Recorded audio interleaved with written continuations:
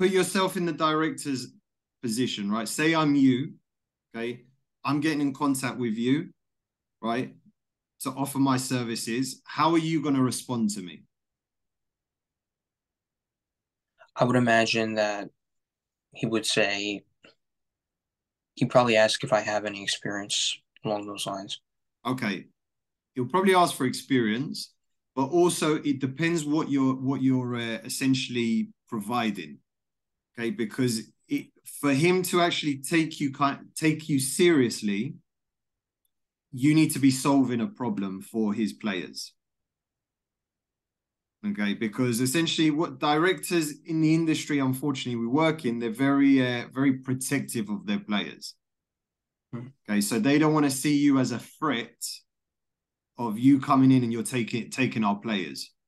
Right. So you want to go in there with a helping hand and say, this is what I'm looking to do. This is what I'm looking to provide uh, your players. Right? Would this be something you guys would be interested in advertising so I can help get your players to the next level? Right, right. Okay, so you don't you want to essentially demonstrate that you're there to solve a specific problem. You're not there to to take their players from them. You're there to improve the program and improve the performance of, of the players at that club. Mm-hmm. So, how would you structure it when you send the message? It's a good question. It's there's t- two ways you can do that. You can either go to go to the the club personally and try and get in contact face to face with the director.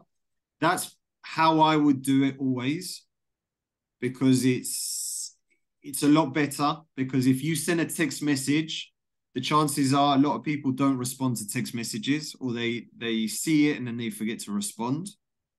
Okay. But you can go through different avenues. Number one, you can go to your club and speak to the director uh, personally. Second one, you can send them a text message and try to, to schedule a call with him over the phone.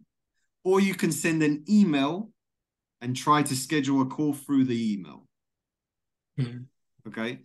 First one, I think, works a lot better because it's more personal and you know you're face to face with a person